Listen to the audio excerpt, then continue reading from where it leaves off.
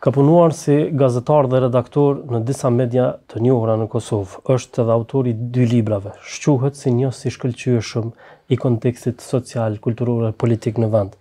Nga viti një mijë e nëntëqind e nëntëdhjetë e një deri në vitin një mijë e nëntëqind e nëntëdhjetë e nëntë ishte bashkëthemelues, gazetar, redaktor në Qendrën Informative të Kosovës të njohur si QIK. Pas lufte, ka mbajtur pozita të rëndësishme nëpër media të njohura të vendit, ndërsa për do kohë ishte edhe anëtar i Bordit të Radio Televizionit të Kosovës. Personalisht e kam çmuar kujdesin e tij ndaj gjuhës, kulturën dhe nivelin e lartë stilistik me të cilin karakterizohen tekstet e tij, qofshin ato edhe të zhanreve publicistike. Kam kënaqësinë se sot kam në studio zotin Bajram Mjeku. Zoti Mjeku, mirë se erdhe në kuadër. Mirë se ju gjej dhe Kënaqësia është e imja, dua paraprakisht t'ju njoftoj se pas njëmbëdhjetë viteve gjendem para kamerave dhe konsideroni këtë si respekt ndaj juve dhe shtëpisë tuaj informative ku punoni. Shumë faleminderit, është nder për neve. Ë po i referohem një interviste të mëhershme dhënë për sociologun Labinot Kunushevci. Ai e pat përmbledhur me të gjitha intervistat e tjera me personalitete të njohura vendore ndërkombëtare në një libër, e ndër të tjera aty në një pyetje ju thoni se ë jeni mohikani i fundit i gazetarëve që kanë kultivuar gazetari të shkruar. Si është ë Ta ndjeni se gjuha nifar mënyre e gazetarëve të sotëm po rrëshqet e po devalvohet vlera e saj, si është në këtë mjedis, si me thanë, medial, ku gazetaria duket se ka humbur misionin e saj të emancipimit të masave. Kur e kam përdorur togfjalëshin mohikani i fundit, nuk e kam përdorur vetëm për vetveten, por edhe për kolegët e mi, kolegë të gjeneratës sime, për cilët pa dyshim gëzoj respekt të madh. Togfjalëshin mohikani i fundit e kam përdorë edhe për një fakt tjetër, sepse neve si brez kemi patur përgjegjësi ndaj fjalës së shkruar. Kam drojën se në mungesë të përgjegjësisë ndaj fjalës së shkruar, kohëve të fundit kemi lajme të rrejshme, apo siç po quhen ndryshe në anglishte fake news, Dua t'ju përkujtoj një fakt. Kur përfundoi lufta në Kosovë, unë kam patur një dilemë të madhe dhe dilema para meje ishte se çfarë qasje do të kenë mediat në Kosovë, do të kemi shumësi mediash apo do të kemi media të racionalizueme siç i kishim kohë më parë. Dhe fatkeqësisht ndodhi e para, patëm shumë media, u hapën shumë gazeta, më vonë shumë portale, u hapën dhjetëra radio, televizione po ashtu, dhe dua t'ju përkujtoj se vitin e kaluar në hapësirën shqiptare, domethënë kudo që jetojnë shqiptarët i kemi aktivisht rreth dyqind e pesëdhjetë portale dhe ju mund të imagjinoni se çfarë shpërndarje informacioni kemi në dyqind e pesëdhjetë portale të cilat editojnë lajme. Për fat të keq editojnë jo rrallë dhe lajme të rrejshme. Unë dua t'i kthehem një historie personale. Të jesh gazetar dikur ishte respekt i madh. Dhe të bëhem gazetar ka ndikuar një familjar i imi, Muhamet Mjeku, i cili në vitet shtatëdhjeta ishte themelues i Radiotelevizionit të Prishtinës, trashëgimia e së cilës është televizioni publik sot.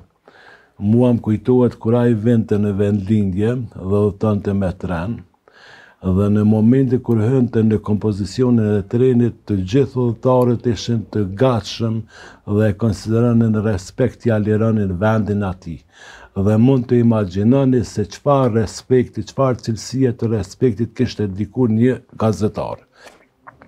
Gazetarët sot, për fatin tonë të keq, Janë duke e humbur respektin. Të thuash sot se jam gazetar nuk është fort e këndshme për efekte të shëmblajshme, për arsye se ne sot kemi vërtet një gazetari e cila shtrihet më shumë në planin politik, e cila shtrihet në planin e mbrojtjes së vijave të partive të ndryshme politike. Kemi shumë pak media të cilat mbrojnë pozicionin e shtetit dhe kjo është jashtëzakonisht shqetësuese.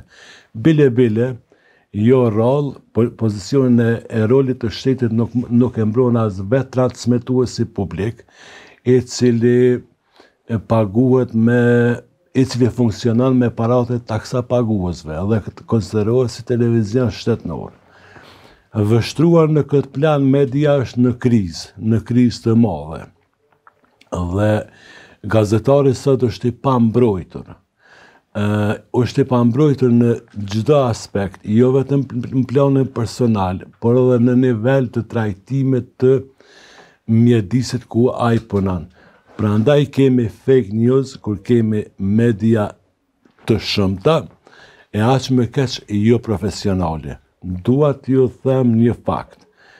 Fillimet e mia kanë qenë unë kam punuar në Botën e Re, Atëherë kam qenë bashkëpunëtor i jashtëm i Gazetës së Studentëve Bota e Re. Nëse tërheqim një paralele midis mediave të sotme dhe mediave të dikurshme, duhet thënë një fakt, ne e kemi sot pallatin e shtypit, në të cilën funksionojnë katër apo pesë ministri të qeverisë së Kosovës.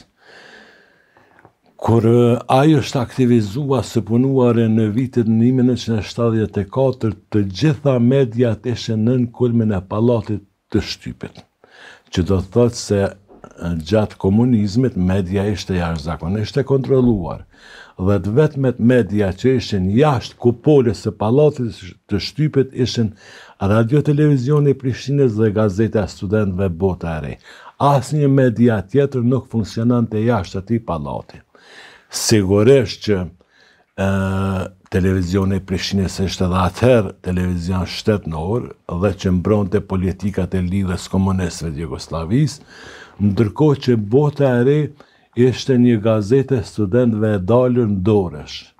në kuptimin se kishte liri shprehje, në kuptimin që studenti me vrullin e tij shprehte opinionet e tij, qoftë politike, qoftë kulturore dhe duket sikur dikush edhe e mbyllte njërin sy dhe na lejonte që ajo gazetë të prosperonte. Dua t'ju kujtoj se në vitin tetëdhjetë e nëntë, nëntëdhjetë, Bota e Re është shitur deri në njëqind e njëzet mijë ekzemplarë, ndërsa pak para se të shuheshin mediat e printuara, të gjitha mediat në Kosovë nuk e arrinin shitjen e rreth shtatë mijë apo tetë mijë ekzemplarëve.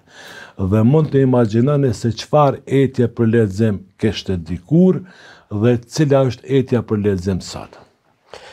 Le të qëndrojmë te një element kështu që është qenë në kontekstin social e kulturor vendor. Më lë përshtypje rëndom fakti kur plot media shpallin, fjala vjen, konkurse për pranimin e gazetarëve të rinj, dhe ndër kushtet që nënvizohet aty është njohja e mirë e gjuhës shqipe. Nuk ma merr mendja që në vende të tjera, në gjuhë të tjera, relevante, është i rëndësishëm një lloj kriteri i tillë, sepse ai do të duhej të nënkuptohej. A flet kjo si element për një lloj degradimi edhe kulturor? Sigurisht që kemi dhe degradim kulturor, por mos harroni se kemi dhe degradim të shkollës këtu tek ne. Dhe nga kjo vjen rreziku më i madh. A e dini ju që pas luftës thuhej që po flitet një gjuhë, një dialekt i ri, dialekti koll. Domethënë, këtu ekziston një rrezik që periudha e okupimit ka prodhuar shkollim të dobët, nivel të dobët të arsimimit. Mos harrojmë, ka qenë vështirë të zhvillosh proces mësimor në të ashtuquajtura shtëpi-shkolla, më saktë në bodrumet e qyteteve të ndryshme të Kosovës. Nuk e di sa do të ishte shkollë ajo, por unë mendoj që ka qenë periudha më e madhe e degradimit të shkollës shqipe Në mas luftës ka ndodhur faza e re e degradimit të shkollës sonë. Dhe unë kujtoj se dhe profesorët e ndryshëm, veçanërisht ata të gjuhës dhe letërsisë shqipe, kanë dalur më të dobët viteve të fundit. Dhe për këtë kemi patur edhe fakte konkrete, prandaj e një profesor i papërgatitur si duhet prodhon edhe kuadro të papërgatitura. Ë për shembull, francezët nuk kanë gjuhë të standardizuar, as anglezët nuk e kanë gjuhën e standardizuar, por e kanë një mes në rastin tonë një mes të të shkruarit të gazetarisë. Tek ne tash as nuk flitet edhe shkruhet sakt dialekt dialekti geg, as sakt dhe mirë dialekti tosk. Për shembull, ky dialekt ka filluar të përdoret edhe nga një grup shkrimtarësh, veçanërisht nga veriu i Shkodrës, kemi një grup shkrimtarësh të cilët janë duke e përdorur dialektin geg, nuk jam asgjë kundër saj, por megjithatë Është opinioni im që Kongresi Drejtshkrimor i Gjuhës Shqipe duhet të ripërsëritet, duhet të depolitizohet dhe duhet të gjendet një mes midis dy dialekteve. Duket që në Shqipëri nuk ekziston një vullnet i këtillë, por nuk ekziston as në Kosovë një vullnet i këtillë për të riorganizuar një një kongres të ri drejtshkrimor dhe për të diskutuar një herë e mirë çështjen e shqipes. E keqja më e madhe është që ne provojmë të shkruajmë gegrisht dhe nuk e shkruajmë si duhet as gegrishten. Dua t'jua përkujtoj një fakt. Në vitin dy mijë e katër, një shqiptaro-amerikan, një mik i imi, Gani Perolli, që jeton në Nju Xhersi, më dërgon një libër të përkthyer nga Albert Musset, një një diplomat francez, i cili më duket më shumë është Më shumë është mbuluar me vellon e diplomatit, meqë mund të ketë patur edhe një mision tjetër, dhe ai në vitin tridhjetë e nëntë e kishte shkruar një libër me titull Shqipëria përballë Evropës. Dhe ky miku im e kishte përkthyer me përkushtim të madh. Kur ma dërgon përmes postës elektronike librin për t'ia redaktuar, Ai më lutet që t'ia t'ia redaktoj në gegrishte. Dhe unë i them që edhe ne kosovarët flasim dialektin geg, po kemi probleme për ta shkruar dialektin geg.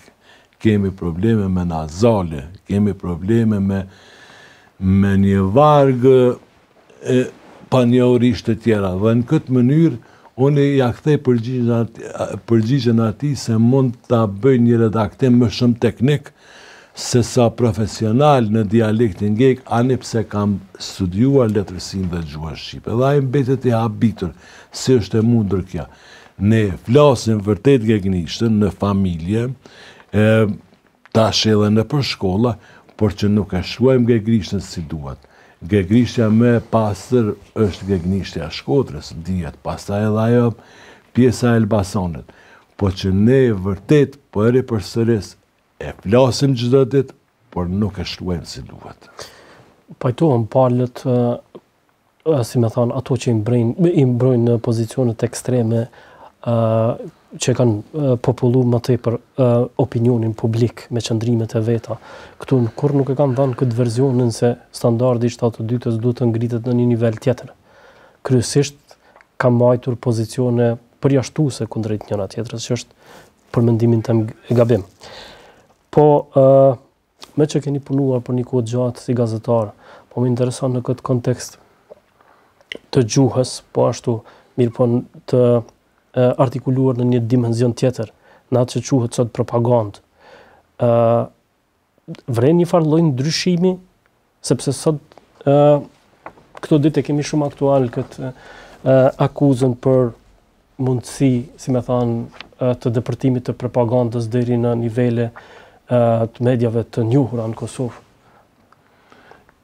E merë, unë kam fillua punën në qendrën për informim të Kosovës në nëntor të vitit 91, dhe kam punuar deri në natën e fundit kur kanë fillua bombardimet e Aliancës Veriatlantike më 24 mars 99-ës. Dua ta theksoj një fakt. Në qendrën për informim të Kosovës nuk kemi patur lektorë. Sepse të gjithë kanë ditur të shkruajnë mirë. Kemi përpunuar tekstin vetë, kemi redaktuar tekstin vetë dhe e kemi redaktuar gjuhësisht tekstin vetë. Kush, kush ju ka zgjedhur kushtimisht? Kush ju ka emruar në atë lloj pozite? Në Qendrën për Informim të Kosovës ka ardhur propozimi që Unë të jem punonjës i saj nga Muhamet Hamiti, profesor Muhamet Hamiti që është sot profesor në Fakultetin Filologjik të Prishtinës, ndërsa ka dakorduar shefi i parë i Qendrës për Informim të Kosovës, Ibrahim Berisha, i cili më ka ftuar që të filloj punë atje, ishin momentet e mia më të vështira për arsye se ishte një mesokohë ku nuk isha i angazhuar me ndonjë vend pune dhe unë po mendoja që të nisesha për në Londër brenda javës. Dhe nuk di a është fat apo fatkeqësi, unë vendosa të ndalem të punoj këtu dhe dua t'ju kujtoj se gjatë atyre viteve, Pa dashur të humb modestinë, kam përpunuar, kam shkruar dhe redaktuar mbi pesëdhjetë mijë lajme, informata, komente, raporte, kumtesa për shtyp për çështjen e Kosovës në mënyrë që ajo lajmi për Kosovën për të vërtetën e Kosovës të jo vetëm të jetë i pranishëm në hapësirën gjithëshqiptare por të depërtojë edhe në qendrat e vendosjes ndërkombëtare atëbotë dhe dua t'ju kujtoj se është pjesa më krenare e jetës sime kur kam punuar ato vite. Dhe së dyti, kemi qenë agjencia më e pranueshme e lajmeve në Ballkanin Perëndimor. Qendra për Informim e Kosovës nuk ka punuar vetëm në seksionin e gjuhës shqipe, por ka punuar edhe në seksionin e gjuhës angleze, gjuhës gjermane e së fundi edhe në seksionin e gjuhës franceze. Dhe ju mund të mendoni se ne ishim shumë në numër, kurrë nuk kemi qenë më shumë se gjashtë gazetarë. Gjashtë gazetarë? Asnjëherë më shumë se gjashtë gazetarë. I mbuloni zhvillimet vetëm branda Kosovës? I mbuloni të gjitha zhvillimet vetë. Ka patur momente që branda ditës kemi edituar deri në 22 edicione të lajmeve. Ose kemi përfunduar ta ta quajmë kështu kushtimisht turnin e paraditës në orën 4 dhe prej orës 4 deri në orën prej orës 4 deri në orën 5 kemi botuar gazetën e mbrëmjes Informatori e cila është gazeta e parë e mbrëmjes në hapësirën gjithëshqiptare. Njëzet e katër faqe gazetë i kemi përgatitur për një orë. Dhe ju mund të imagjinoni se çfarë pune titanike është bërë. Dikush mund të thotë se shaka mund të jetë kjo punë, po ne Informatorin e kemi përgatitur në një hapësirë prej jo më shumë se dymbëdhjetë metra katrorë. Po mirë, raportet, jo të gjitha raportet ndoshta kanë qenë për publikun. A ka ndonjë dokumentacion që është ruajtur prej asaj periudhe i vlefshëm, si me thënë? Për fat të keq ne jemi dhe popull i pakujdesshëm. në situata jo të rralla. Informatori nuk është ruajtur as jashtë madje. Dhe ne kemi menduar se përderisa kemi patur zyra zyra të Qendrës për Informim të Kosovës në disa shtete të Evropës, mendonim se ata kanë patur kushte për t'i ruajtur të gjitha informacionet. Këtu ndoshta ka qenë edhe e rrezikshme. Padyshim ka qenë edhe e rrezikshme. Këtu po. Këtu ka qenë e rrezikshme. Ë Para katër viteve ish nënkryetari i Lidhjes Demokratike të Kosovës, Anton Noka, për të cilën kam një respekt të jashtëzakonshëm, më ka thënë se i kam ruajtur rreth 70% të informatorëve Domethënë i kishte në shtëpi të ruajtura. Dy vjet më parë ia kam bërë një kërkesë Lidhjes Demokratike të Kosovës që t'i kushtoj kujdes një pune të këtillë dhe t'i editoj ato. Mirëpo për fat të keq nuk ka shprehur interes. Aty është historia e okupimit të Kosovës. Në ata informatorë është vuajtja e shqiptarëve të Kosovës. Unë besoj që mesatarisht në planin personal kam përpunuar rreth 50 informata të ndryshme në ditë. Edhe ajo ishte informatë voluminoze. Pastaj ishte përgjegjësi e madhe të japësh informacion atëherë. Ishte punë me rrezik. Imagjinoni ju një një çun të ri apo një aktivist i atëhershëm kur prej Pejës për ta sjellur një informatë, është detyruar t'i kalojë të paktën tre apo katër punkte të hermetizuara të policisë serbe për ta sjellur në këpucë informatën në Prishtinë. Ajo ishte sakrificë. Ai nuk paguhej për për atë rrugë. Nuk nuk i paguhej as bileta e udhëtimit, por e bënte me vullnet të jashtëzakonshëm për Kosovën, për të vërtetën për Kosovën. Dhe kjo është e dhembshme. Tash në kushte dhe rrethana të reja, të mos digjitalizohen materialet e Qendrës për Informim të Kosovës vërtet është e dhembshme. Për ta plotësuar këtë, unë kam shprehur vullnet që të mbikëqyr përkujdesin e dixhitalizimit falas dhe nuk ndodhi për fatin tonë të keq kjo. Çka ndodhi menjëherë pas luftës me këtë grusht gazetarësh dhe me qendrën përgjithësi? Unë ta them të drejtën natën e 24 marsit, kur kanë filluar bombardimet, kam kaluar në ilegalitet të thellë. Dhe ilegaliteti i thellë ka ndodhur deri më 31 mars të vitit 99. Kam kaluar në një lagje tjetër të Prishtinës, pasi jam kërkuar nga struktura të sigurimit serb, dhe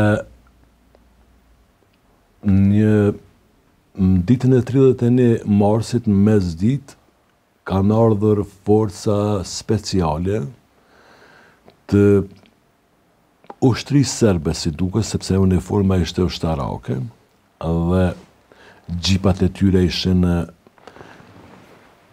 të njësitit anti-terror. dhe kanë rrethua lagjen Breg i Diellit ku ku isha hedhë në në ilegalitet. Dhe kanë urdhënua që të gjithë banorët të dalin nga objektet. Unë kam qenë në familjen e një miku tim, Hamdi Malushaj nga Peja, dhe kam rrëmbyer djalin e tij, e kam hedhur përpara që të mos më identifikohet ftyra, kam dalur jashtë dhe e di që kur kemi dalur në oborr të objektit njëri nga ushtarakët serbë na ka thënë shkoni turq thyeni qafën kudo që të mundeni nuk ka më vend për juve në Kosovë dhe turma ishte e kontrolluar deri në stacion të trenit dhe unë kam përfunduar në Maqedoni dhe nga Maqedonia unë kam jetuar dy vjet në Oslo të Norvegjisë. Ç'të vërteta krejt shteti norvegjez më ka trajtuar në nivelet më të lartë të gazetarit dhe kam qenë jashtëzakonisht i privilegjuar atje, për çka dhe i falënderoj përjetësisht. Unë kam jetuar dy vjet në Oslo, jam kthyer prapë në mars të vitit dy mijë e njëzet e një. Kolegët janë shpërndarë Duket që nuk kishte interesim politik që të vazhdonte Qendra për Informim e Kosovës, ka vazhduar me me dy kolegë, por që ishte jashtëzakonisht në margjina dhe mas katër apo pesë viteve është shuar krejt. Është ngulfatur pak a shumë po, prej mediave të shumta. Po, është ngulfatur prej mediave të shumta dhe qendra për informim e Kosovës do të ishte mirë që të shndërrohej në agjensi të lajmeve për Kosovën, menjëherë pas luftës. Mirëpo nuk ishte vullnet. Kështu që disa nga kolegët kanë kërkuar hapsira të reja për mbijetesë. Për shembull, Miku im shumë dhe kolegu shumë i respektuar Safet Zejnullahu ka kaluar në të përditshmen Zëri dhe të tjerët në angazhime të reja. Profesor Muhamet Hamiti ka vazhduar punën e tij në universitet.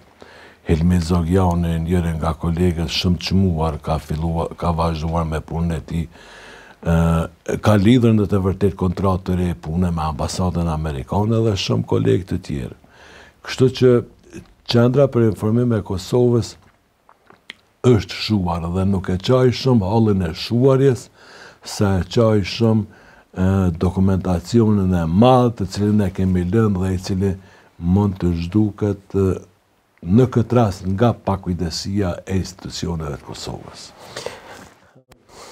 Interesante, nuk e di që është shtruar ndonjëherë për diskutim kjo temë rreth QIK-ut edhe trashëgimisë së kësaj qendre informative. Çka deshta të them, po pak më herët fole për nivelin e gazetarisë.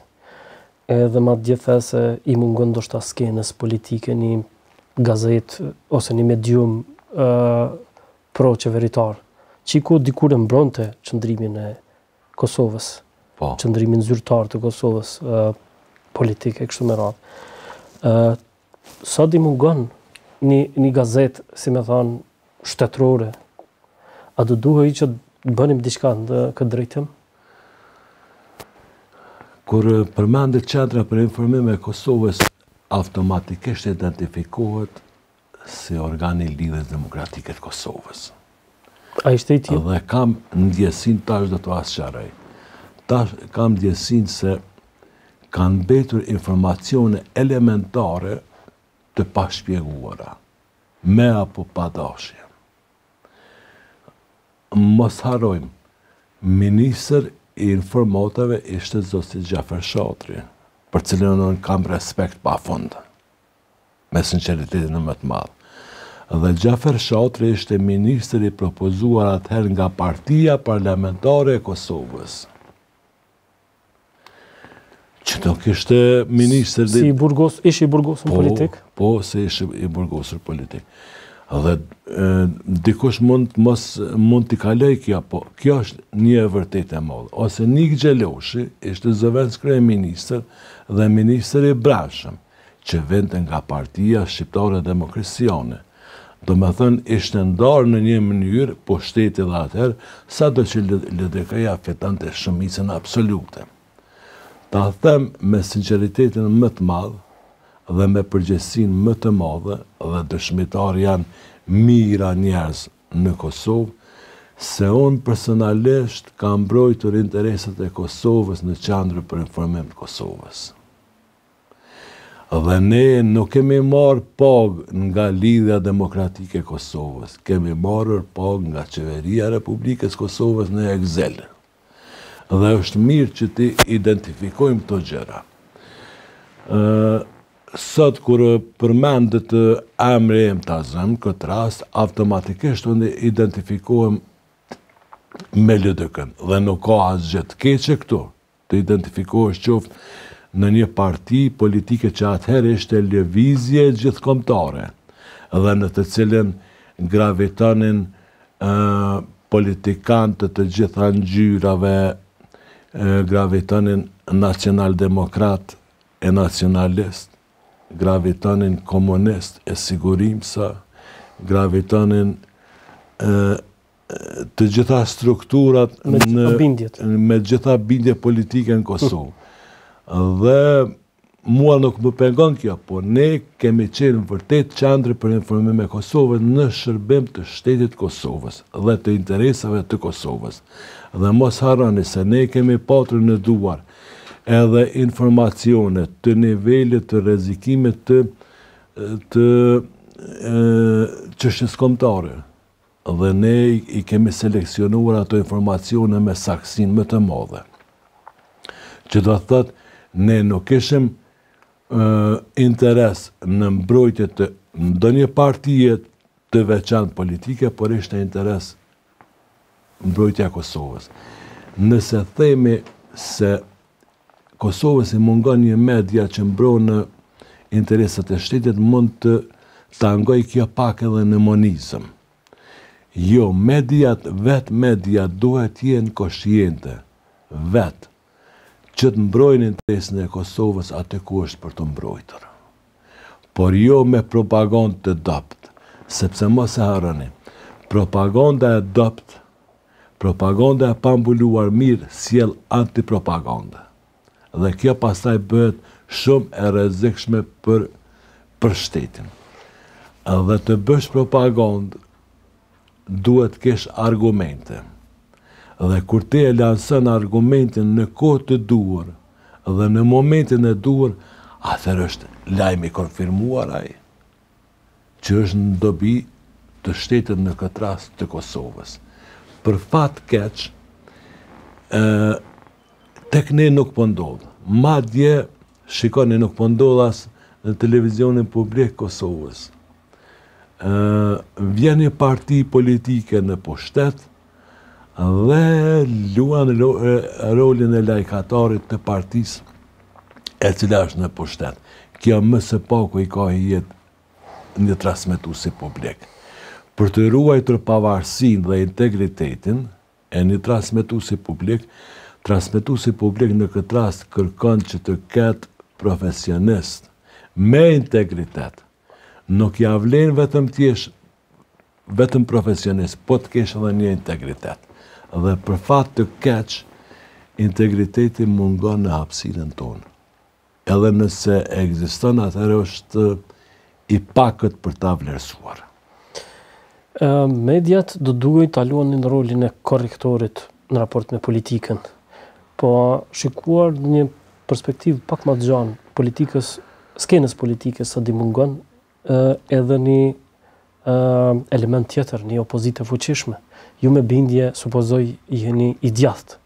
Po. A e mungon skenës politike një parti serioze, djathtë, që i bën konkurrencë në njëfarë mënyre politikës aktuale, qeverisë aktuale, e cila udhëhiqet nga një parti që po duket se po shkon drejt një të majte ekstreme. E dashur e merr pyetjen të cilën e shtroni ju muajve të fundit ma shtrojnë dhjetra njerëz. A i mungon skenës politike një parti për një mend e djathtë? Dhe unë besoj që vërtet skenës politike në Kosovë i mungon një parti për një mend e djathtë. Më lejoni ju lutem që të tërheq një paralele. Lidhja Demokratike e Kosovës, kur është themeluar, është themeluar nga fryma e nipërve dhe mbesave e djemve dhe miqve të themeluesve të Lëvizjes Nacional Demokratike Shqiptare e cila është themeluar në vitin një mijë e nëntëqind e dyzet e tre në krye me Profesor Gjon Serreqin dhe e cila parti ishte ekskluzivisht pro-evropiane, në të cilën gravitonin dhjetë mijë aktivistë, të Kosovës dhe në vitin një mijë e nëntëqind e dyzet e tre deri në vitin një mijë e nëntëqind e dyzet e pesë i kishte rreth tridhjetë e tre mijë simpatizantë. Po më lejoni ta tërheq edhe një paralele tjetër. Këtu flitet se ka ekzistuar balli kombëtar. I themeluar në Tiranë po ashtu në vitin një mijë e nëntëqind e dyzet e tre nga dijetari Mithat Frashëri. Ka patur individë të cilët kanë përkrahur ballin kombëtar. Për shembull ishte Ibrahim Spahiu, Djali i Mulla Ilaz Brojës, i cili përfaqësonte rininë e Ballit Kombëtar në Gjimnazin Sami Frashëri në Prishtinë. Po nuk ishte Ibrahim Spahiu mbledhit, ashtu ishte edhe babai i Faruk Spahisë, kryetarit të Mitrovicës Faruk Spahisë së ndjerë për të cilën gëzoj respekt të jashtëzakonshëm. Po pse është përdorur nocioni balli kombëtar?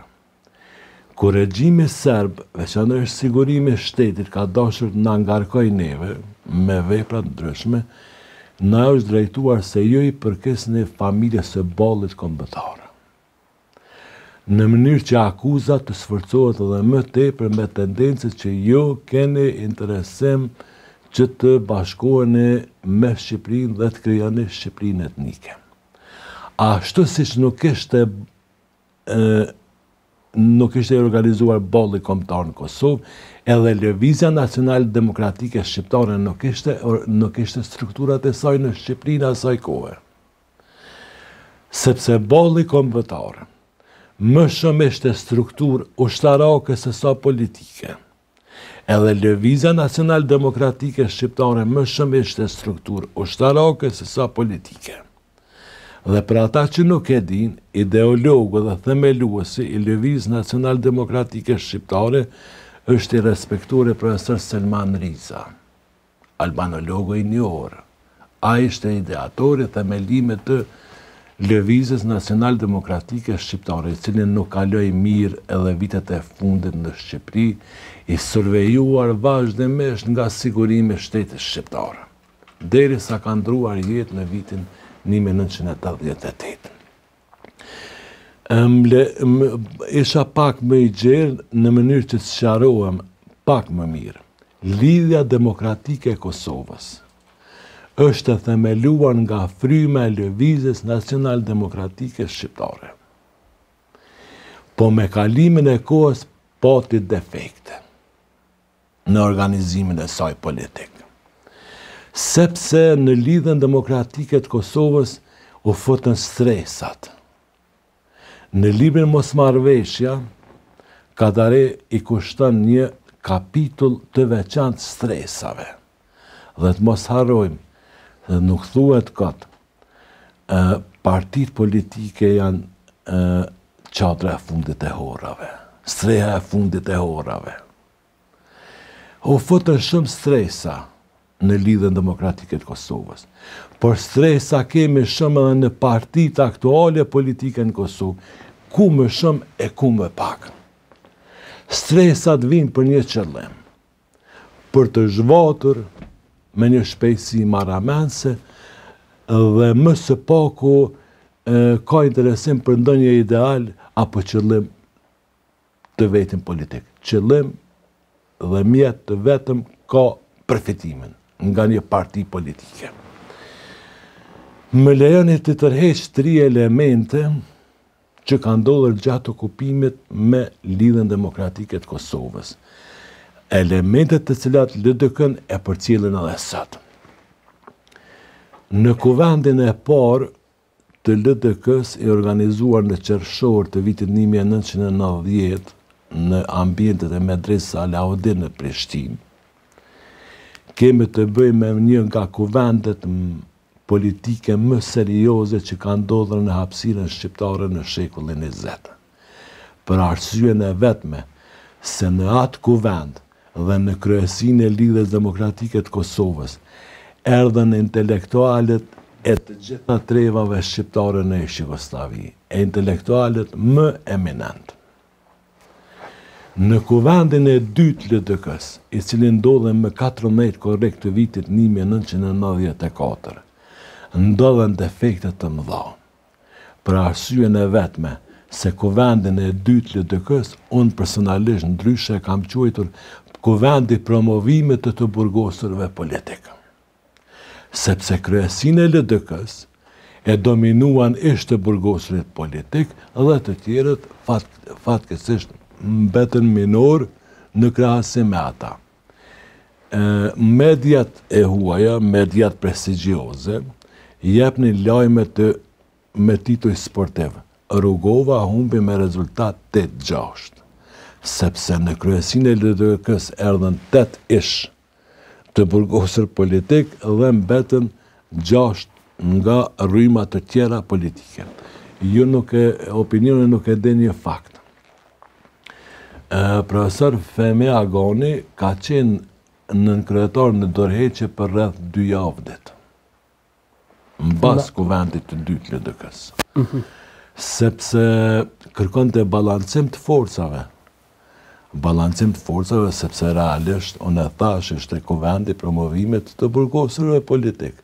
Dhe këtu e humbi atë imazhin e të djathës Lidhja Demokratike e Kosovës.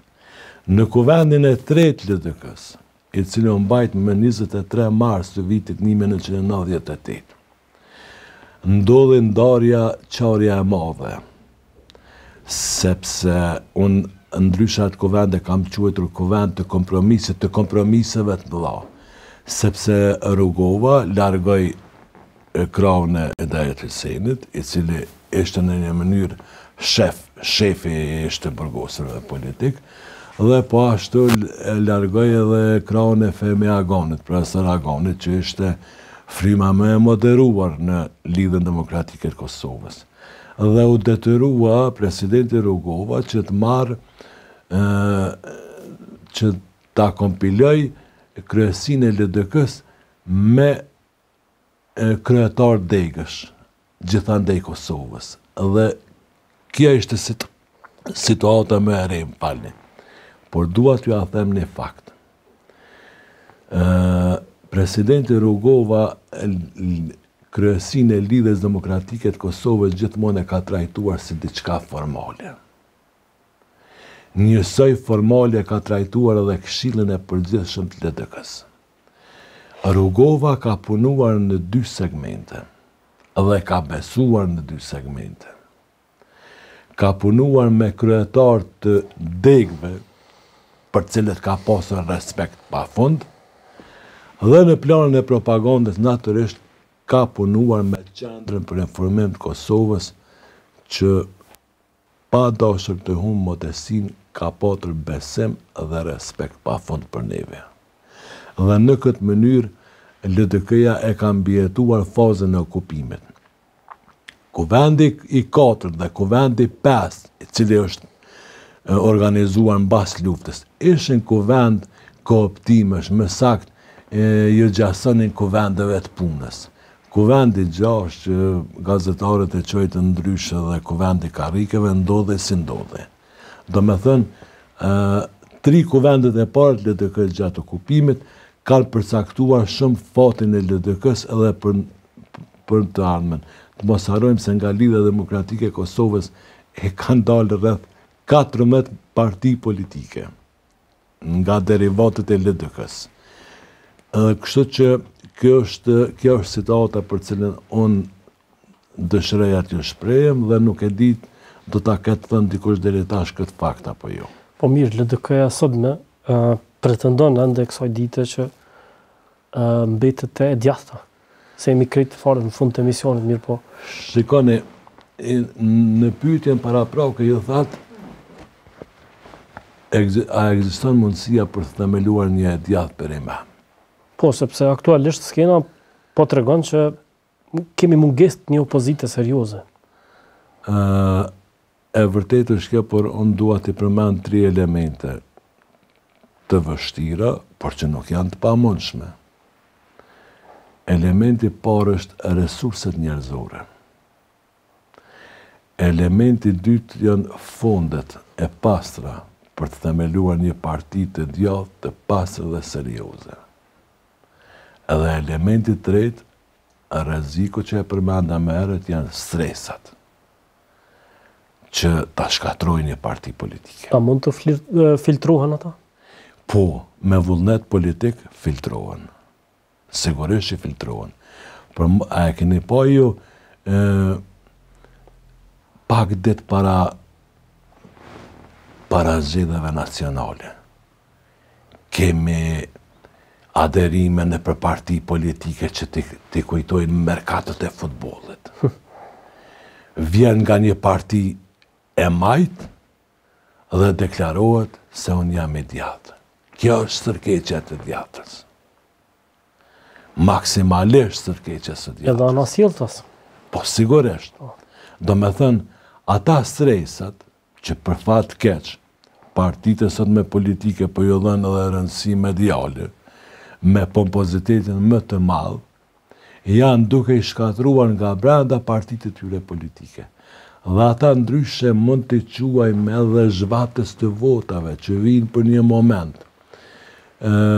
për të për të kapur ndonjë votë, po nëse partia politike nuk ka qëllim, bindje politike, atëherë këto importime nga partitë tjera i merr jo me qëllim të ndërtimit të jetës të jetës më të favorshme në Kosovë, po me qëllim të përfitimit të votave. Dhe kjo është pjesa më e dhimbshme që ndodh në partitë tona politike. Mendoni që elementet e para i posedojmë, resurset njerëzore? Për burimet ndoshta ja gjindën disi. Resurset njerëzore janë të harxhuara në parti të ndryshme politike. Për fat keq, është është vështirë sot ta gjesh një person, një autoritet të moshës së mesme që ka mbetur i paprekur nga një nga ndonjë parti politike. Shikoni, nuk është vështirë të jesh lider i një partie politike.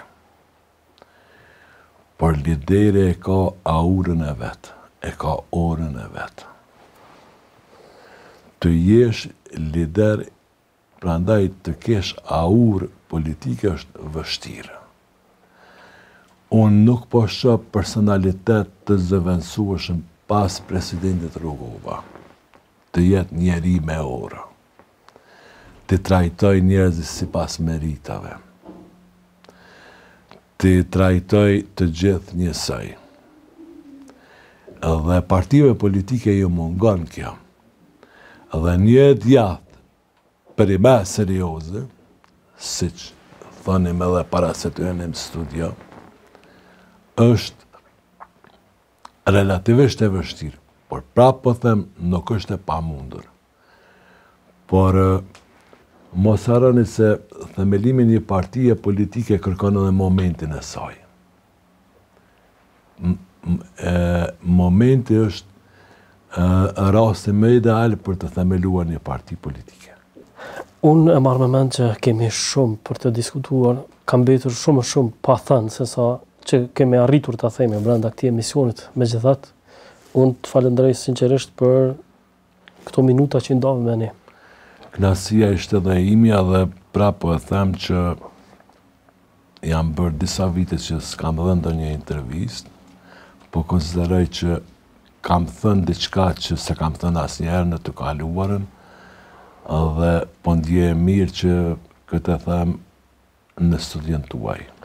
Shumë faleminderit edhe një herë. Kënaqësia e imja, faleminderit shumë. Miq të nderuar, mos harroni të na ndiqni çdo të martë në orën 20 në Radio Televizionin Iliria si dhe në kanalet tona zyrtare në rrjetet sociale të gazetës online Fol Drejt.